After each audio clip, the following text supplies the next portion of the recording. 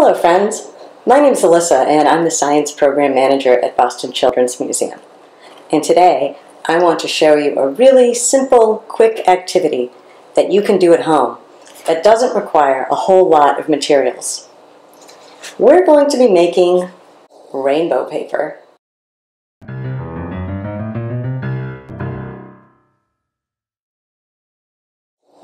For this activity, you only need a few things. You'll need a bowl or a container of water, some black paper. It can be construction paper or cardstock, whatever you have around. And you want to cut it to a size so that it will easily fit into your container. So if you have a small bowl, cut your pieces smaller. And if you have a big bowl, you can cut your pieces bigger.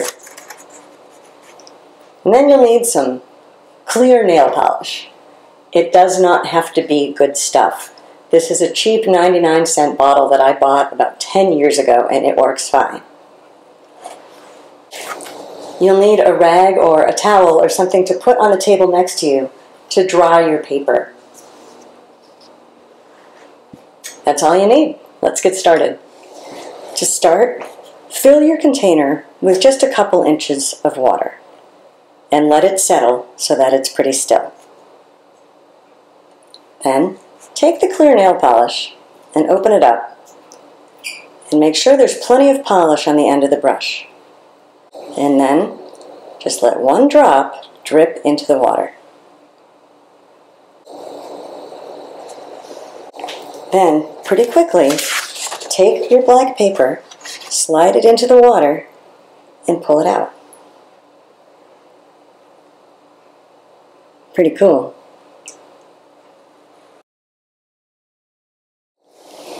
This time, I'm going to try putting the paper in first and then dropping the nail polish in above it.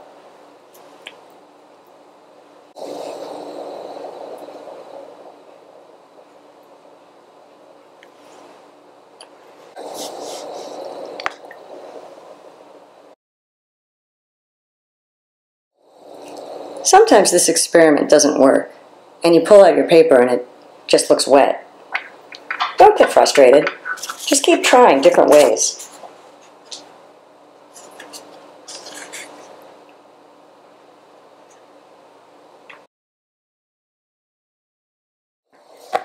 Nail polish is made of chemicals that don't mix with water. So when your nail polish hits the water, it doesn't mix in. It just spreads out to make a really, really thin film on top. Then that film sticks to your paper. And depending on how you hold your paper, the light will strike it in different ways and different angles, making the rainbow colors.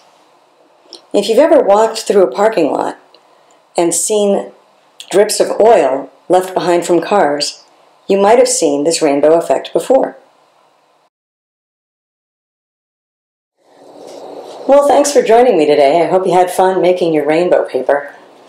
This is one of my favorite activities because it always comes out looking really cool and they're all different from each other, but they're all also amazing. Keep checking back here on Facebook, Instagram, and YouTube for more fun activities that you can try at home.